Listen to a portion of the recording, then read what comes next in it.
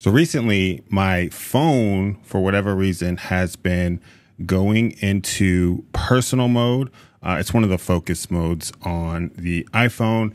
And I didn't set this up. It's been doing it automatically and it's been really annoying. Uh, I've been looking for ring notifications, like people at my door ringing the doorbell, and I'm not getting them. So I'm like, what the heck is going on? And come to find out, my um, my phone has been putting itself into this focus mode automatically. I, like I said, I never set it up. And I noticed this because if you look very closely at the iPhone or at my watch, you can see that little purple person at the top. And that indicates the personal mode. That's the color that personal is on my iPhone. So uh, today I want to show you guys how to turn that off, not just the personal focus state, but all of the focus states. And it's a pretty simple process. Um, first, just to see on the iPhone what it looks like when you're in the personal. If I swipe down from the upper right hand corner, I get my uh, launch pad here.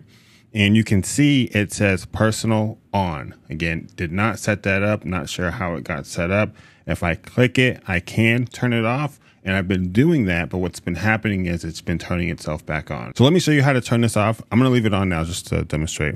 Uh, what we're going to do is open up our settings. So let me find the settings. Gosh, I have so many apps. Settings, there it is. And inside of the settings, we're going to scroll down to focus. And since I'm working with a personal one, I'm going to open up the personal focus state and scroll down to the bottom and you can see that it's currently set on a schedule. Again, I have no idea how this got set up. I didn't set this up. And currently I'm at home and for some reason it wants um, it wants to go into personal mode when I'm at home. So I'm going to turn this off, turn off that automation we're going to delete the whole schedule so it doesn't pop back up. So your schedule might look a little bit different, but whatever it is, whatever that schedule is, make sure that it's turned off. And it's going to be the same for all of the different focus states. So do not disturb, that can be on a schedule. Sleep can also be on a schedule, which mine is 11 to 7, which is cool.